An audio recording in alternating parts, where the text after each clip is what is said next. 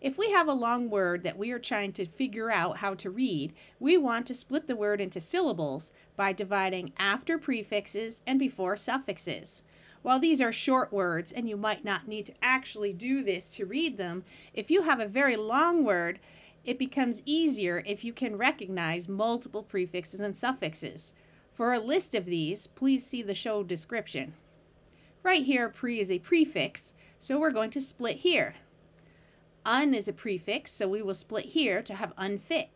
Dismiss has miss as a suffix, so we will split here. Full is a suffix, so the split is here, and we have thankful. Ness is a suffix, so we divide the word here to have fitness. If you found this helpful, please double tap the screen and subscribe to my channel, where you can find more short and full length videos about teaching your children to read.